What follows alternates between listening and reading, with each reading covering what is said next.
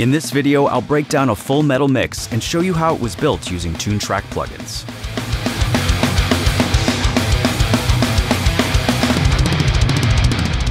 All of the drums in this song come from EZdrummer 3 and the Metal Mania EZX using the Nordic Metal preset.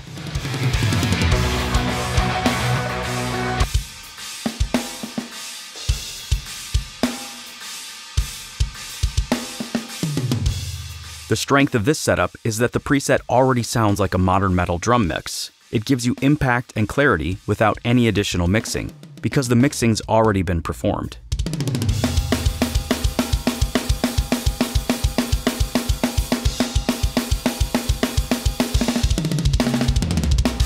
If I launch this same preset in Superior Drummer 3 and I go to the mixer, you can see exactly how much processing has been applied. And if you're an SD3 user, you can make adjustments if desired.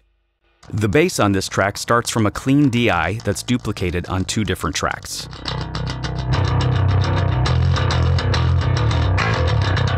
Both of these are processed with EZmix 3 amp chains, but one track stays clean and focuses on the high-end note definition and clank of the sound, while the other track is more driven and focuses on the grit and mid-range fullness.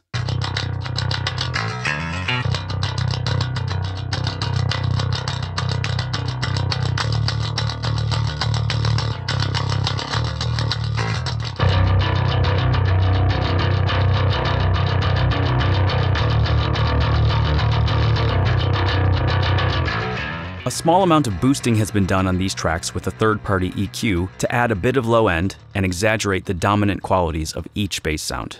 On the bus, there's another EQ with a gentle boost and cut mainly to control the 250 Hz area, which is a frequency range that you need to be very careful about, especially in metal and hard rock music. But again, the moves here are only a few dB at a time.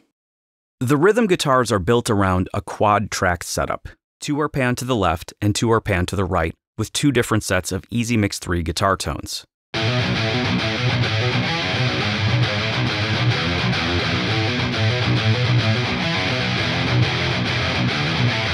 By changing the tones between the left and right side, the guitars achieve a greater stereo width and depth that's not possible any other way. Sometimes, guitar players will duplicate their tracks and delay one by a few milliseconds. While this can be somewhat of an improvement, it's no substitute for double or quad tracking because a duplicate track is delayed by a consistent value.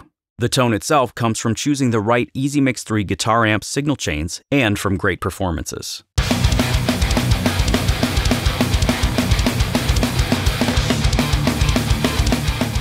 When you quad track guitars, you're also quadrupling any spiky frequencies, so you may need to make small surgical cuts like this.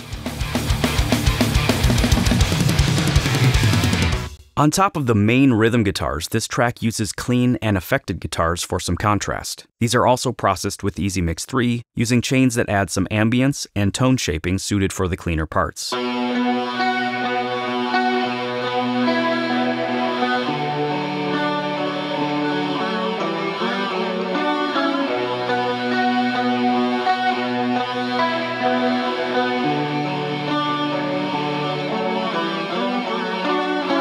There's also more affected guitar tracks that come in at key moments.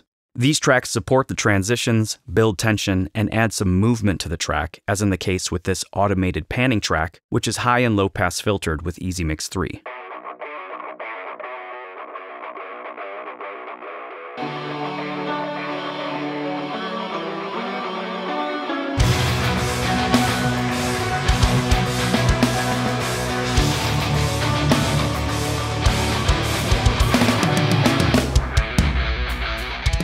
The final stage of this mix uses EZmix 3 AI assisted mastering chains on the stereo output. Here, EZmix 3 analyzes the track and adapts a mastering chain to this specific song.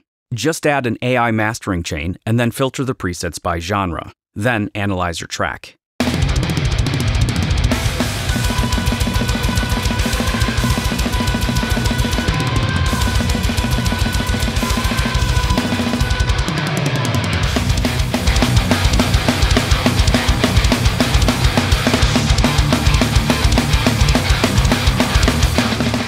You can switch through the various mastering options to find the one that suits your track the best.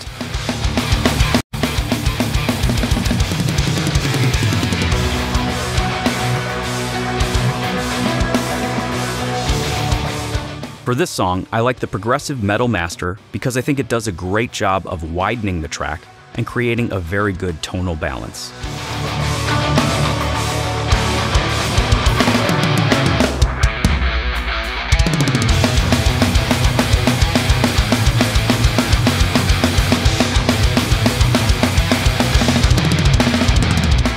If you want to try this kind of setup on your own songs, grab the free 10 day demos of EZdrummer 3 and EZMix 3 at toontrack.com.